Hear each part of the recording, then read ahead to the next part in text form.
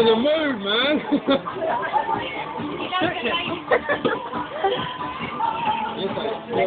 Yeah, he needs.